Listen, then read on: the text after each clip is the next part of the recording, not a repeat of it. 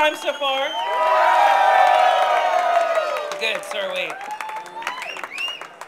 This next song is one of my favorite songs. It's called Blue Savannah.